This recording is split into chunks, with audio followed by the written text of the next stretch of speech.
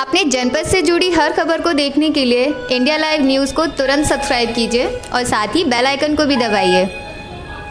मुर्दाबाद मुर्दाबाद मुर्दाबाद मुर्दाबाद। वार्ड नंबर 11 की आक्रोशित महिलाओं ने लगाया फिरोजाबाद क्लब चौराहे पर जाम।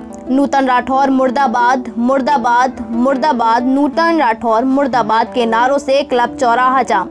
राहगीर भी परेशान। महिलाओं में मची होड़ की कौन कितनी ज़ोर से मुर्दाबाद के नारे लगा सकता है? मानो कि महिलाओं में नारे लगाने की स्पर्धा चल रही हो।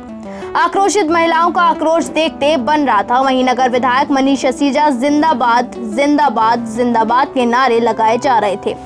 वह आक्रोशित महिलाओं ने एकत्रित होकर चौराहे पर नूतन राठौर का पुतला दहन कर रही थी। महिलाओं का कहना था कि उनके वार्ड के पार्षद योगेश शंखवार पर महापौर नूतन राठौर व माया देवी ने गलत तरह से छेड़खानी का मुकदमा दर्ज करा दिया है, जिसके चलते वार्ड नंबर 11 की जनता नाराज़ है। वह जिस दिन सभापति का चुनाव हुआ था, उस दिन उनके साथ मारपीट भी की गई थी।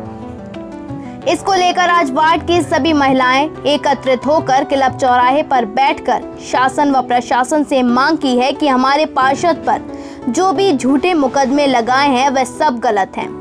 उन्हें वापस लिया जाए अन्यथा की स्थिति में जाम नहीं खुलेगा। वहीं पुलिस द्वारा भी जाम खुलवाने का भरसक प्रयास किया गया। देखिए, फिरोजाबाद से हमारे विशेष संवाददाता करण कुमार की खास रिपोर्ट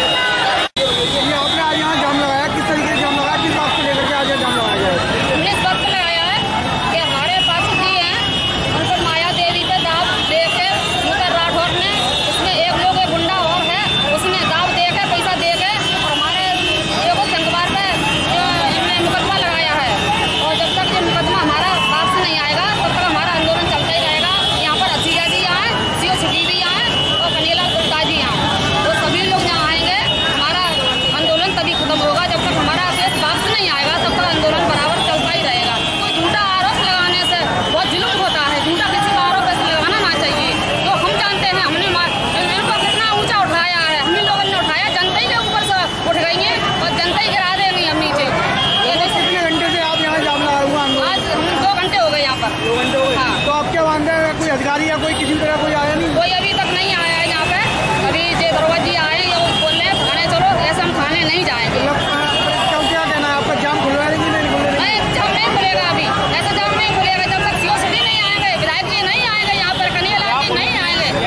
या कहा है की आपने जो मुख्य अखबार में खबर छपी है झूठी है हाँ ये झूठी बोल रहे हैं ये झूठी है क्या कहा उनने? तो ये मेरी ये खबर अखबार की तो सारी खबर झूठी होती है क्यों झूठी होती है अखबार की खबर तो दुनिया में फैलती है खबर से दुनिया में सारे लोग झूठी मानते हैं आप लोग का हमको नहीं मानते ये अखबार की खबर झूठी है और फिर वैसे भी हमको खबर हैगी तो उन्हें हमारे थैंक यू थैंक यू दोस्तों। आ, आ, क्या कर रही हो अंजलि? इतने में थैंक यू बोल रही हो। अभी तो इनको लाइक करना है शेयर करना है सब्सक्राइब करना है तब जाकर हम बोलेंगे इनको। Thank you